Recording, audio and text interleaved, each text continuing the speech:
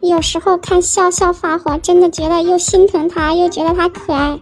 昨天看他的倡议书，从标点符号都能感受得到，他真的很生气。可是他写出来的却是：我都已经每天都穿一样的衣服了，你们就不要再围观我了，好吗？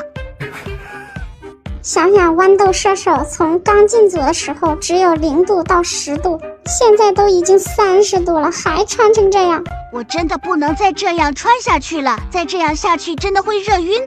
老王被拍的时候，我去，还举着手机，说你们呐，都别再拍了啊！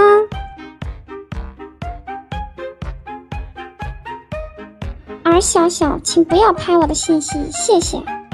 实在是气坏了，自己居然还维持起了秩序。